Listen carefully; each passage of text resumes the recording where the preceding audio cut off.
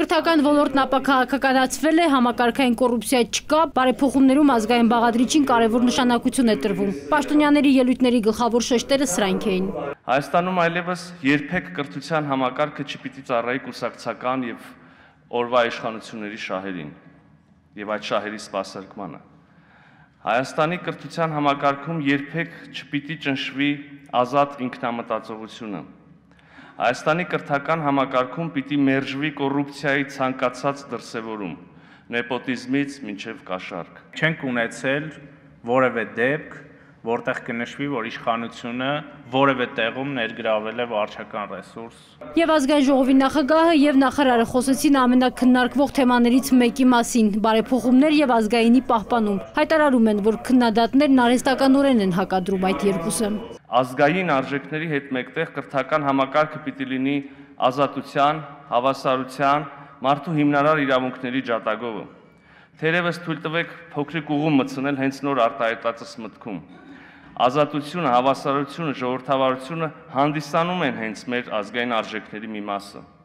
Ուզում եմ հավաստիացնել, որ այս արժեքներից յուրաքանչյուրի խրախուսումը որևէ կերպ չի հակասում մյուսի խրախուսմանը, եւ անիմաստ են փորձերը քաղաքական նեղ շահերից ելնելով դրանք հակադրության մեջ դնել միմյանց հետ։ Մեր կառավարությունը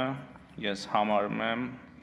ամենաազգային կառավարությունը, որ երբևէ եղել է Հայաստանի Հանրապետությունում։ Կոռուպցիայի դեմ պայքարի հաջողված ոլորտներից մեկը նախարարի պնդմամբ հանրակրթությունն է։ Մինչդեռ բուհական համակարգում Արայք Հարությունյանը կոռուպցիոն երևույթներ դեռ տեսնում է։ Բուհական համակարգում արկա կոռուպցիայի առումով չասեմ, որ հաջողություն չունենք, բայց մտահոգիչ բաներ կան։ Արայք Հարությունյանը տվեց նաև հարցի պատասխանը, թե ինչ են ուզում կրթությունից եւ ուր են տանելու բարեփոխումները։ Վերջին արդյունքում պետք է ունենանք քաղաքացի, որը ունի վերլուծելու, քննադատելու, ազատ մտածելու ունակություններ եւ հմտություններ։ Եվ ամբողջ